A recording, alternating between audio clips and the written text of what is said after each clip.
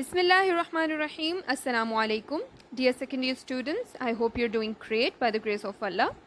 Welcome to lecture number 2 of our chapter 17 and today we'll be discussing about different responses to different stresses in plants and also what biological cycles are. First of all, let's talk about the responses in uh, to stresses in plants.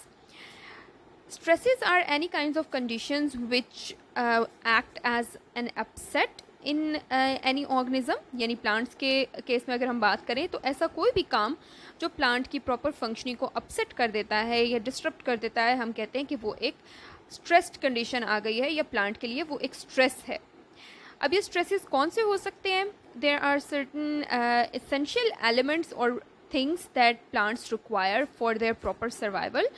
and to carry out different functions उन elements में कुछ uh, जो most important ones हैं वो है light carbon dioxide water and mineral nutrients इनमें से जो तीन जो है लाइट कार्बन डाइऑक्साइड और वाटर इसके बारे में तो हमें पता है they are essential for the performance of photosynthesis which is the most important functioning ha uh, function happening in plants. and also mineral nutrients which plants take up from the soil uh, are also essential for the growth of plant if these uh, all elements are in less amount or they are not available to plants we say that plant is in a stressed condition और फिर उसको कोप करने के लिए उसके पास कुछ responses या internal mechanisms होंगे uh, जिनके ज़रिए से वो इन कंडीशंस को सर्वाइव कर सके but if there is case where plants are not able to overcome the deficiency of these essential uh, elements तो प्लांट्स के अंदर हमें उसके सिम्टम्स नज़र आ जाते हैं या उसकी वजह से डिफरेंट जो डिसऑर्डर्स हैं वो हमें अपियर होना शुरू हो जाते हैं हमें अपियर होते हुए नज़र आते हैं। For example if there is a deficiency of light a plant is grown without light in the absence of light we see a condition of etiolation in plants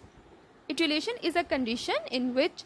uh, when plants are not uh, provided with enough light for their growth they show a rapid increase in their size उनका size जो है वो बहुत increase हो जाता है leaves वगैरह काफ़ी बड़े हो जाते हैं and also they lack chlorophyll they are unable to form chlorophyll और जब उनके अंदर क्लोरोफिल नहीं होगा तो वी कैन अंडरस्टैंड कि उनका इंटरनल जो फंक्शनिंग है वो कितनी ज़्यादा अपसेट हो जाएगी। उसी तरह से अगर वाटर की एब्सेंस हो प्लांट्स को वाटर ना सफिशेंट मिले तो हमें डिफरेंट प्लांट्स हैं, वो विल्ट होते हुए नज़र आते हैं। And also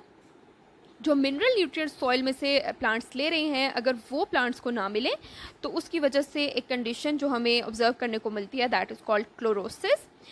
which is actually the yellowing of leaves of plants और ये येलोइंग इस वजह से होती है क्योंकि उनके अंदर uh, अगेन जो क्लोरोफिल है वो प्रेजेंट नहीं होता या उसकी uh, नहीं हो पाती और इस वजह से उनका जो ग्रीन कलर है is turn into yellow So these uh, can be uh, the few stress conditions that plants have to face and respond to and then uh, evolve according to uh, each condition. Next हम बात करते हैं about pathogen responses and developmental abnormalities in plants. Pathogens are any external uh, attackers or invaders which, uh, which uh, after coming in contact with the plants can cause different problems for plants uh, ये उनकी ऊपर body के ऊपर जब भी आएँगे plants के ऊपर या अंदर तो कोई ना कोई अपसेट uh, कॉज करेंगे और जिसकी वजह से हमें डेवलपमेंटल एबनॉर्मेलिटीज़ प्लांट्स के अंदर होती भी नज़र आ सकती हैं। uh, इन डेवलपमेंटल एबनॉर्मेलिटीज़ की बात करें यानी जहाँ पे हमें एबनॉर्मल ग्रोथ प्लांट में नज़र आती है उसकी एक एग्ज़ाम्पल uh, हमारे पास है कैलसिस कैलसिस के बारे में हम uh, इस uh, क्लास के शुरू के चैप्टर में ये देख चुके हैं कि ये ऐसी आउटग्रोथ्स होती हैं which are which is actually an accumulation of a bundle of cells or large number of cells and they are formed wherever a plant is wounded या उसको कहीं पे जो कट लगता है उसकी जगह पर जो cells accumulate हो जाते हैं क्लॉट uh, बना देते हैं एक उसको हम कैलस कहते हैं तो even though it is important for the for taking care of any wound it is still an abnormality क्योंकि ये एक नॉर्मल कंडीशन नहीं होती प्लांट के लिए then we can see the formation of some tumours in plants plants के अंदर कुछ सेल्स अगर एबनॉर्मल काम करना शुरू कर दें और वो फ़ंक्शन एबनॉर्मेलिटी जो है, वो डिफरेंट सेल्स तक स्प्रेड हो जाए या नेबरिंग सेल तक स्प्रेड हो जाए तो वो हमें प्लांट ट्यूमर्स की फॉर्म में नज़र आती है या हम उसे प्लांट कैंसर भी कह सकते हैं। और इसकी डिफरेंट रीजंस हो सकती हैं, कोई केमिकल्स हो सकते हैं और कुछ एक्सटर्नल लिविंग बींग्स हो सकते हैं जो अफेक्ट कर सकते हैं प्लांट्स को and cause tumours then we have galls galls भी ऐसी एक्यूमुलेशन ऑफ़ सेल्स है जो प्लांट्स के अंदर हमें नज़र आती है internally and this happens due to attack of different parasites यानी अगर प्लांट के ऊपर किसी पैरासाइट का अटैक हुआ है तो उसके रिज़ल्ट में हमें प्लांट के अंदर एक्यूमुलेशन ऑफ़ सेल्स या सेल्स के बंडल्स बनते हुए नज़र आते हैं. अब नॉर्मल ग्रोथ होती हुई नज़र आती है, जिनको हम गॉल्स का नाम देते हैं. And the difference between calluses and galls is that calluses are formed as a result of any cut or wound and galls are formed as a result of uh, uh, attack of a parasite which can be a bacteria or a virus but essentially they are abnormal uh, developmental or growth of plant cells uh, ये जो galls के अंदर sales बन रहे होते हैं large number में उनके अंदर हमें उनकी ग्रोथ एक तो रैपिड नज़र आती है और डिफ्रेंशिएशन जो है वो काफ़ी कम होती है इस तरह के सेल्स के अंदर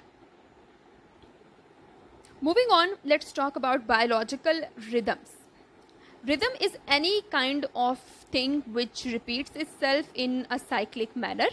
Uh, यानी कि हमें कोई भी काम अगर एक प्रॉपर मैनर में प्रॉपर इंटरवल में होता हुआ नज़र आता है तो हम उसको रिदम कहते हैं और बायोलॉजिकल रिदम का मतलब है कि इन लिविंग बींग्स ऐसे बिहेवियर्स और ऐसी एक्टिविटीज़ जो रेगुलर इंटरवल्स पे होती हुई हमें नज़र आते हैं हम उनको बायोलॉजिकल रिदम्स का नाम देते हैं जिसकी कॉमन एग्जांपल है आ, हमारी ब्रीदिंग यानी कि हम क्योंकि एक नॉर्मल एक ह्यूमन बींग के अंदर हम रेगुलर इंटरवल्स पर breathe in and breathe out करते हैं। उसके अलावा इंटरनली देखा जाए तो हमारे हार्ट की बीटिंग है जो कि रेगुलर इंटरवल्स पे होती है and it is not interrupted unless there is a huge upset इस तरह की एक्टिविटीज़ जो रेगुलर इंटरवल्स पे होती हैं उनको हम बायोलॉजिकल रिदम्स का नाम देते हैं। बायोलॉजिकल रिदम्स हमें दो डिफरेंट टाइप्स में नज़र आती हैं। यानी लिविंग बींग्स में हमें चेंजेस होते हुए दो डिफरेंट फॉर्म्स में नज़र आ सकते हैं। Such as we have circadian rhythms और सरकैडियन रिदम्स जिनको हम डाई अर्नल रिदम्स का नाम भी देते हैं। They are also called as diurnal rhythms और ये वो रिदम्स होती हैं जो हमें ट्वेंटी फोर आवर्स में रिपीट होती हुई नज़र आती हैं। यानी ये वो काम है जो हमें एक दिन की ड्यूरेशन में होते हुए नज़र आते हैं। On the other hand circannual rhythms वो हैं ऐसे ऐसी एक्टिविटीज़ जो हमें over the span of year नज़र आते हैं यानी कि हमें ईयरली इंटरवल्स में नज़र आते हैं in an interval of 365 days so और we can say that any kind of activities which are repeated on daily basis are diurnal rhythms and the activities which are repeated on annual basis are called circannual rhythms और examples में अगर हम देखें तो हमारे पास है circadian rhythms में opening and closing of stomata on each day हर दिन के लिहाज से ये काम हो रहा होता है with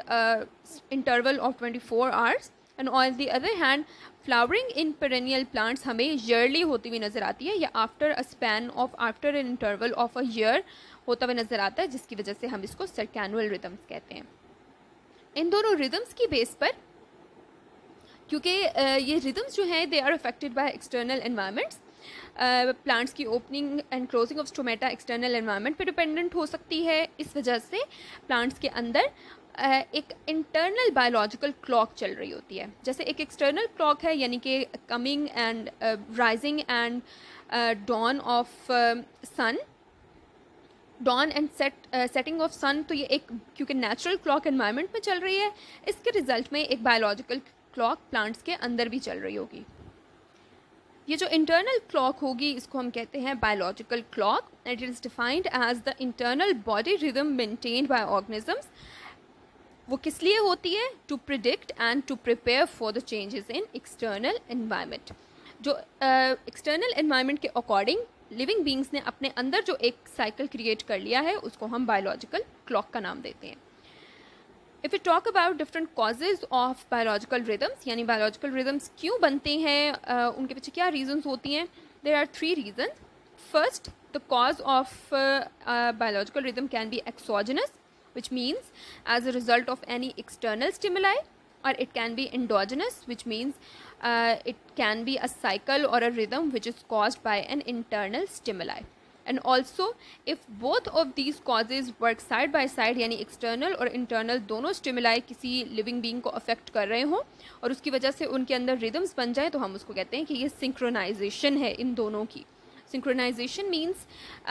going side by side so both of these work side by side in synchronization these are the causes which can cause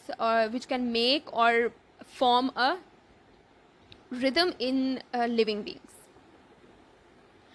now let's talk about factors which affect these cycles in cycles के ऊपर किन चीज़ों का affect हो सकता है? कौन सी ऐसे फैक्टर्स हैं जो इन साइकिल्स को चेंज कर सकते हैं?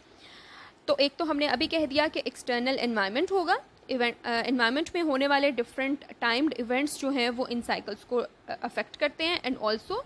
इंटरनल प्रोसेसेस जो हैं rhythmical internal processes they they can also form और शेप डिफरेंट साइकिल्स यानी हमारी बॉडी के अंदर होने वाले डिफरेंट जो फ़ंक्शंस हैं वो हमारी बॉडी का एक पूरा जो रिदम है या जो क्लॉक uh, है उसको अफेक्ट कर सकते हैं या उसको मेनटेन कर सकते हैं। these are the factors which can uh, form or shape or uh, change a cycle a biological cycle or rhythm.